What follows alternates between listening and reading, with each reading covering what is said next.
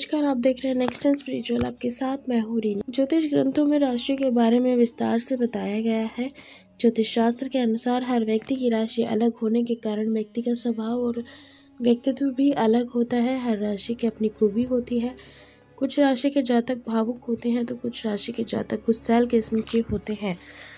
वहीं कुछ राशि के जातक साहसी माने जाते हैं, लेकिन कुछ ऐसे भी होते हैं शत्रुता के मामले में दूसरों से बिल्कुल अलग होते हैं। ये शत्रु को माफ़ नहीं करते।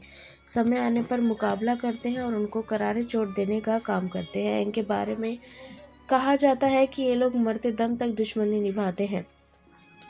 आइए जानते हैं उन राशियों के बारे में। मेष राशि ज्योतिष अनुसार मेष राशि के लोग अहंकारी स्वभाव के माने जाते हैं।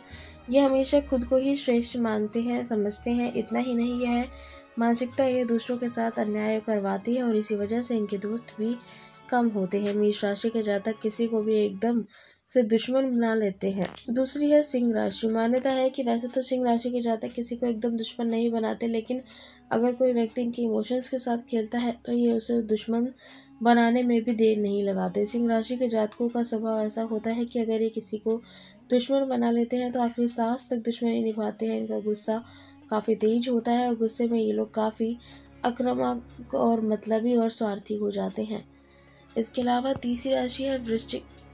इसके अलावा है तीसरी राशि वृश्चिक राशि। इस राशि के जातक थोड़े मतलबी होते हैं, ये अक्सर खुद से ही मतलब रखते हैं। अगर ये किसी से नाराज़ हो जाते हैं तो उस व्यक्ति से बदला लेने के लिए सारी हदें पार कर देते हैं। इन्हें किसी भी दखल अंदाजी पसंद नहीं होती। इनके काम पर अगर कोई उंगली उठाता है तो दुश्मनी पर उतर आते हैं। ऐसे में इस राशि के जातकों से संभल कर बातचीत करना ही सही रहता है। धनु राशि। धनु राशि के जातकों को लेकर ज्योतिषियों का कहना है कि ये जातक ज़्यादा समय तक नफरत नहीं रखते हैं, इसलिए किसी भी जातक से बदला लेने में देर नहीं लगाते। इन्हें लोगों को घूमने फिरने में समय बर्बाद करना पसंद नहीं होता है। इनका ध्यान सिर्फ़ करियर और रोज़गार पर होता है। अगर आपको हमारी जानकारी अच्छी लगी हो तो कमेंट करके ज़रूर बताएँ। वीडियो को लाइक और शेयर करना ना भूलें।